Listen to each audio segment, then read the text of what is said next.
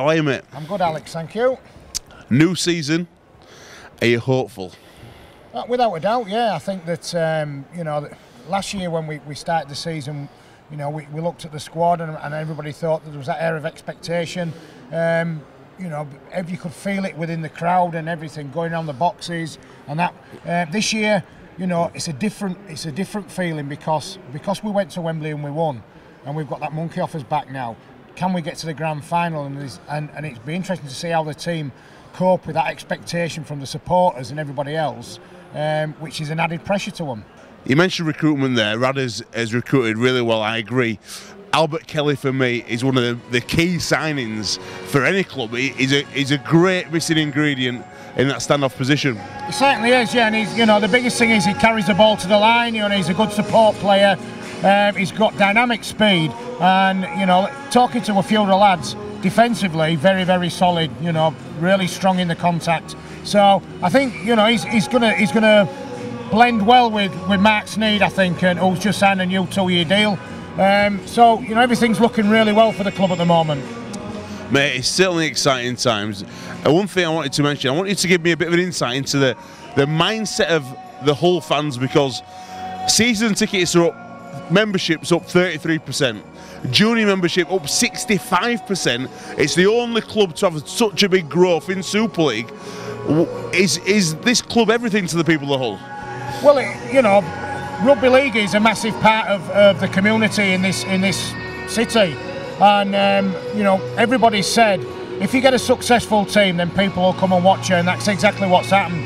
You know, people came last year, and they've and you know they've they've seen that we've they've created some success, and they've jumped on the back of that, and you know everybody wants to see a successful Hull side.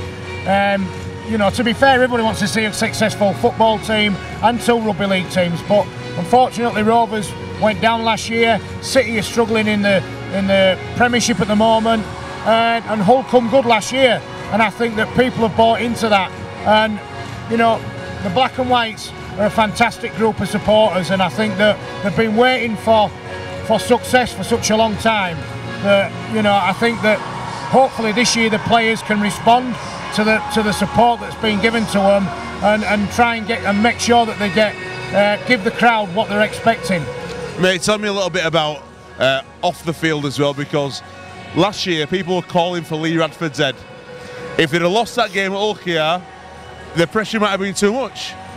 He stuck it out, they won that game by the skin of his teeth, and it just got better and better and better. That says a lot about Adam Pearson. He's stuck with Radders. He's given a few years to get his get his group together. And also I wanted to mention James Clark because this is a lad who started a few years ago on nine grand as a marketing assistant. He's now the CEO.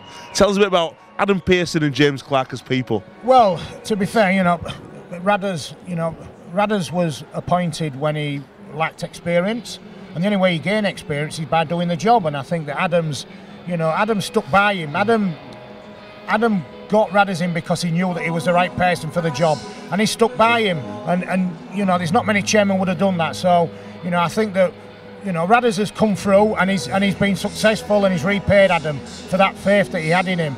Clarkey, you know, it's it's it's a great story. Clarkey's like you said, come through the ranks. He's a great bloke. He does his job exceptionally well, and um, you know, I think that that's what the club's all about. The club's about progression. It's about giving people opportunities, and you know, even for me for myself, you know. Um, You're involved all the time, I, am involved. I'm involved at the club because somebody said to Adam about five, four years ago, um, "Why don't you get Lee working back at the club?" And, and he turned and he heard him and he turned around and they made an appointment and everything went from there. So do you love it? It's fantastic. It's great to be back at the club. You know, everybody knows how much this club means to me, and um, you know, I just I, I, love being back here. I love being part of uh, the backroom staff in regards to what's happening. I love coming and watching the game, and, and what happened last year was just an exceptional. Did you shed a tear? I did. You know, I did, and, and because I was so pleased and proud for everybody at the club yeah. that had been worked so hard to, to achieve what they achieved. Whether it's power station, factory, or stadium, covering installation or maintenance, SPEC the specialist power contractor to industry.